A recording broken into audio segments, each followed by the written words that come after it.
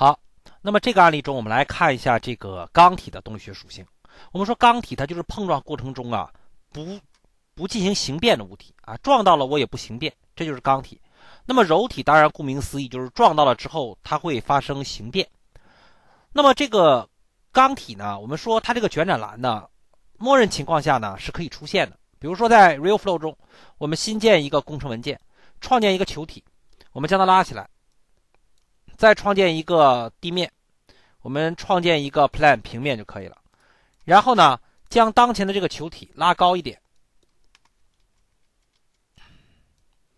OK，拉高了之后，我们将其他的卷展栏先关闭。在 Simulation 里面，下面找到 Dynamics，我们选择钢体。钢体之后，这是一个球体的外形，所以 Primitive 它是一个球体的碰撞外形啊，它也是动的，质量为二百五十二。当前的这个地面呢，它也是钢体，但是呢，它是不动的。我们把 Dynamics Motion 关掉，而且地面是一个 box 的外形。OK，我们现在来看一下默认的效果。注意，为什么没有效果？因为场景中没有重力。我们创建一个重力，再来看一下。大家看，这就是钢体的动力学碰撞。其实 RealFlow 呢，是我用过的很多软件里面钢体动力学非常准，而且速度非常快的。尤其是到了 RealFlow 五里面，它新增了一个新的钢体动力学碰撞引擎，速度快，处理大量钢体游刃有余，非常的棒。OK，那我们现在来看一看这个 Rigid Body，哎，钢体里面的一些卷展栏的重要参数。我们说，正常设置为钢体之后，它分为几种运动。第一种是物体对粒子的运动，第二种是粒子对物体的运动，第三种是物体对物体的运动。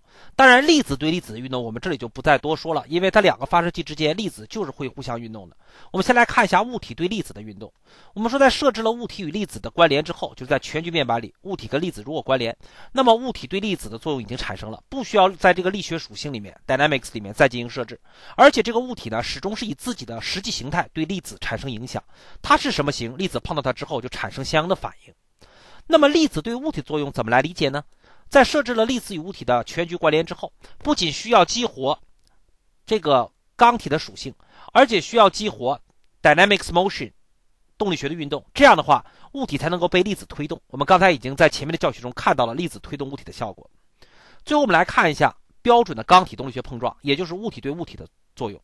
它不需要设置什么关联。在这里面不需要关联，只需要呢，在它的这个 node 里面设成钢体，然后在它底部的这个 rigid body 中设置合适的碰撞外形以及物体是动还是不动。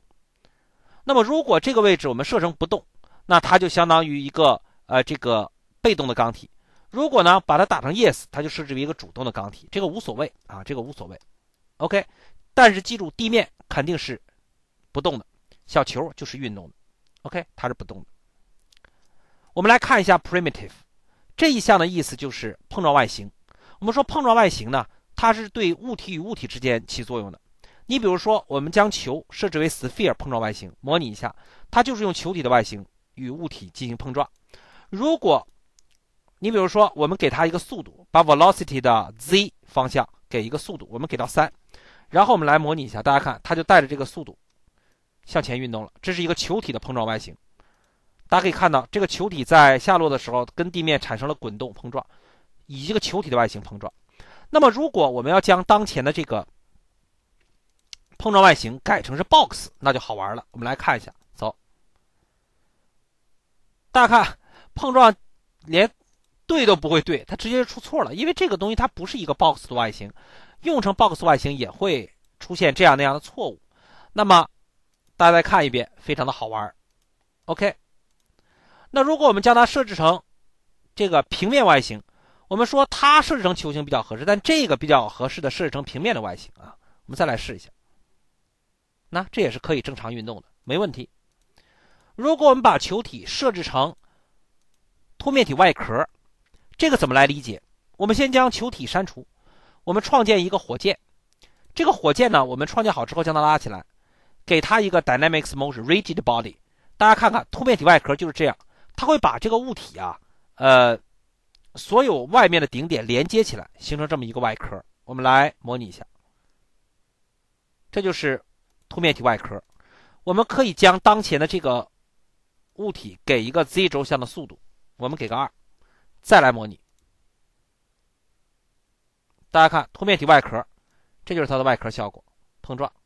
但是它不能用底下进行碰撞，啊，我们来看一下，它底下凹陷的地方不能碰撞，它就是个外壳。如果我们这个物体非常的不规则，需要底部的这个位置也碰撞，那我们只有把它设成是 mesh 网格了。这种是将物体的所有外形进行真正的动力学碰撞。大家看，这种是非常的准，那不会产生错误。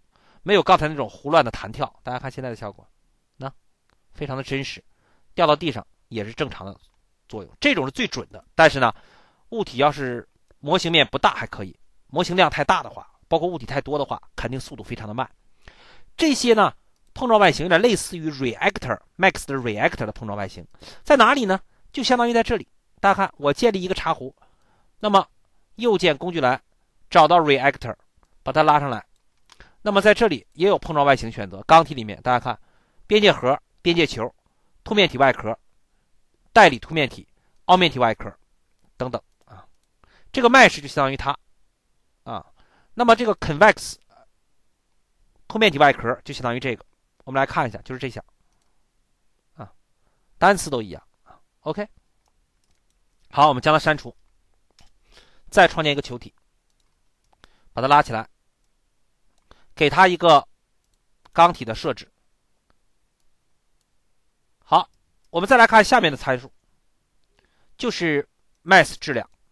这个质量呢，我们说不管质量设成多大，它掉落的速度是一样的。这是这个两个铁球同时落地的这个原理啊，一个质量大一些的，一个质量小一些的共同落地的原理。那么在这里呢，我们看一看这个 mass 到底有什么用。我们说质量设置不管多大都可以产生正常的速度掉落，那么这个质量到底还有什么用呢？如果我们用粒子来冲物体的话，物体的质量越大，那么这个粒子越难冲动物体，这流体越难冲动它，而且呢，想把它浮起来很困难。因为呢，你想把物体浮起来，它的浮力必须大于重力，但是这个物体很重，所以呢，重力就会比浮力大，这样的话球体不会被浮起来。那我们说这个质量什么时候有用呢？我们来看一下钢体里面，我们再创建一个球体。这个球体呢，我们把它放在这里，让它能掉下来碰到它，给它一个速度啊。大家看到这个 z 轴，我们给它个三的速度，我们看一下它掉下来会不会碰撞这个球体。模拟这样是肯定不会碰撞的，为什么？第一，位置不对；第二，这个球体本身没有打开动力学项目。我们为什么让它先掉下来呢？原因就是我们要参考它的位置，把这个球体挪到它能够碰撞的地方来。OK。它能碰撞的地方大约在这个位置。好了，我们现在 reset 一下，选择这个新建的球体，将它的钢体动力学打开，将它的质量设的大一点，我们给到五千，我们看它能不能撞得动这个。我们将它的质量设小一点，大约给到五十。好，现在我们来碰撞一下，模拟。大家看位置不对，我们要把它拎起来，reset，因为它跟地面交叉了，我们把它拉起来。切换到其他视图来看一下，再高一点，OK。现在我们再来看一下效果，模拟。大家看，由于这物体比较轻，撞到重的物体，它自然被弹开，这就是质量在动力学里面的作用。当然，我们可以将这个物体的质量调小一点，比如说我们把它给到五，然后我们再来进行模拟，这样的话它就会撞开这个物体。大家看，哎，因为它的质量比较大，所以它会把这个撞开。我们 reset 一下。这就是质量在动力学里面的这个作用。好，这里有一个知识点，我们需要补充一下，就是哪个呢？就是这个 primitive 碰撞外形。我们现在打开 RealFlow 的这个帮助文件，然后在这里我们输入 primitive。OK，我们看到 Objects 里面有，找到 Objects primitive，我们看到这张图，这就是球体的外形，这是 box 外形。这是一个 mesh 网格，与网格完全一样。这个是 convex hull 边界外壳，它们的突出点连线形成的效果。这个大家看起来就一目了然了。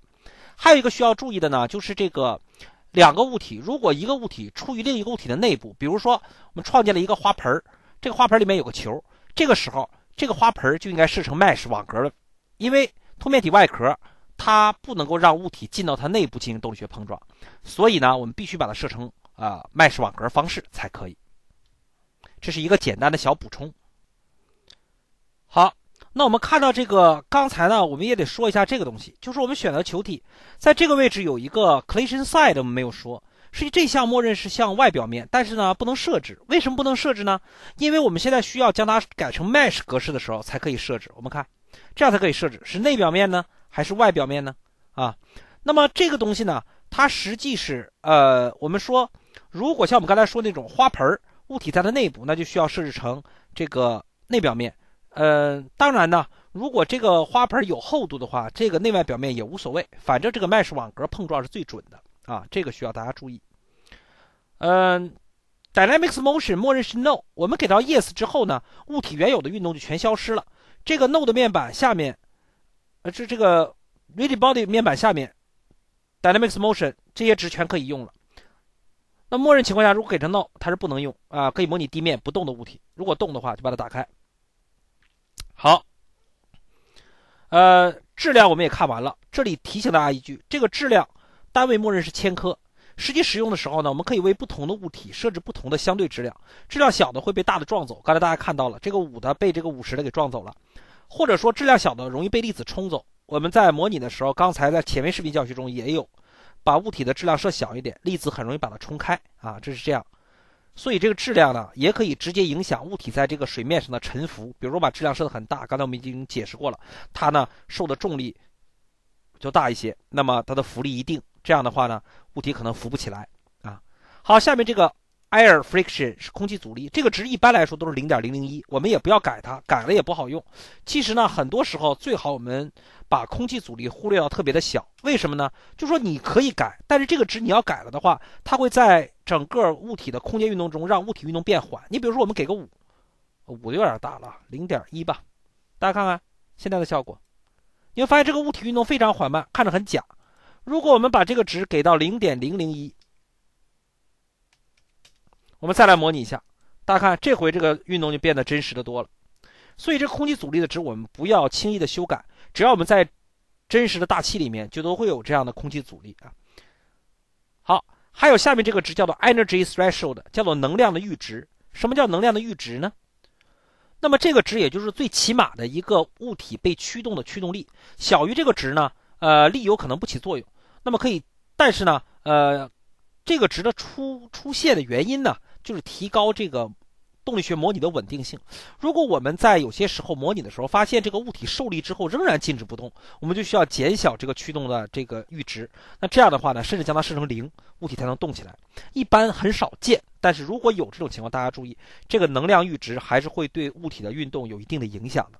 OK，这个叫做 CG。Cg 是什么呢？我们点中当前这个物体，我们发现在这个物体的中心位置有一个非常小的一个小方形，这个就是它的质心，也叫做重心。那么我们可以通过这个 Cg 的值来对这个重心进行修改。比如说，我们将重心值沿 x 轴，呃，我看看啊，z 轴方向，咱们大约给一个值，比如说给个一，大家看这个重心就跑到这里来了。那么我们把它放在这里呢，呃。看起来是非常的方便啊！如果我们对这个物体进行各种设置，比如说，呃，缩放的时候，包括旋转的时候，大家注意，啊，你看把它调到这儿来，实际它的影响并不是特别大。所以我们说这个值尽量就不要动它啊，只要好用就可以了，不用非得计较这个值啊。OK，我们把它回到默认啊，零就可以了，零就可以了。好。这个负什么零点零零零零零一，还它真不嫌多，就就就这样。OK，来再看一下速度。刚才我们已经给大家演示过了。这个物体之所以能够落下来的时候往前滚，我们看到往前走，就是因为我们给它了一个这个 z 方向的速度。我们看到，如果给它一个 z 方向的速度，我们从顶视图开始看，大家看 z 轴在这里，它就会直接向 z 轴方向有一个速度。如果我们将当前的这个 x 轴速度也给个三。那么它现在的运动就是在 x 和 z 两个方向产生一个斜线的运动。大家看我的鼠标，现在应该是这样一个运动。我们来模拟一下，大家看，这样一个运动，两个速度综合了啊。好，我们将这个 x 轴速度给到零。rotation w 是什么意思呢？就是它沿着这个呃自身旋转的初始角速度。这个物体在受外力的之前呢，它的角速度就可以设置。比如说，我们将它的 rotation w 值给到九十，会出现什么情况？我们来看一下。大家看物体在模拟的时候，这个看的还不是很清楚，我们给到零吧，把这个值给到九十 x 轴的。OK，我们 reset 一下，看一下效果。大家看，它就会有一个在落下来的时候，我们看一下它的这个零件啊，零件。大家看，它在落下来的时候就有了一个旋转的效果，导致呢最后的效果有一个出错的感觉啊。那你看，所以这个就是物体在运动之前的一个初始的角速度啊，自转的速度。那我们可以在这里把这个值 x 轴给到九十。啊，九十有点大了吧？给个五吧。reset，再看一下。大家看，它就有一个自身的转。如果我们给一个负五呢？再来看一下，它就会反方向转。那给九十有点大。大家看这个效果非常的怪异啊。因为它没有进行碰撞的时候，就有一个自身的角速度的设置了。好，那么最后我们再来看一下这个摩擦力和弹力。我们看个摩擦力。我们先将当前的这个球呢，直接给它删除。就看这个球，呃，我们给它一个正五方向的一个自身的旋转，来看一下，就这效果。我们来看看它默认向下落，大概呢弹的高度。如果我们现在呢将当前的这个物体的摩擦力，呃，摩擦力和弹力修整一下的话，效果就不一样了。比如说，我们先来调一下球的弹力，我们将 elasticity 调到一，再来模拟一下，大家看这一次球跳的高度，明显比刚才要高。如果还是看不清的话，我们选择地面。将地面的弹力也调高，给到一。这个时候大家再看，那非常的高，看起来跟跟这个 没有重力一样啊，太假了。OK，这是弹力。如果我们嫌它跳的太高的话，我们可以将当前的地面和球体的弹力值都给到零点一。这个时候我们再来进行模拟，可以看到这个物体弹的非常的低。OK，这就是呃弹力。大家可以看到五十四帧，物体还没有出当前的这个平面。我们来设置一下摩擦力，我们将这个物体的摩擦力设置为零点二，再将地面的摩擦力也设置为零点二。我们现在再来模拟，大家注意看这一次，那我们发现这个物体呢，在五十多帧左右的时候已经到了边上了啊，摩擦力给低。如果我们把摩擦力给高，会出现什么情况？我们把摩擦力给个一，再把这个摩擦力也给个一，我们这回来看一下它的摩擦力增大的效果。走。大家看，这个物体的运动明显受阻了，那越来越慢，基本上就停掉了。如果我们把它的摩擦力给到零，把这个摩擦力也给到零，那么现在我们再来模拟一下，看效果。这个物体就跟在冰上一样，直直的滑出去，没有任何减速的效果。好了，关于这个物体的这个。Rigid body 钢体卷转拉力这些参数，我们就给大家介绍到这里。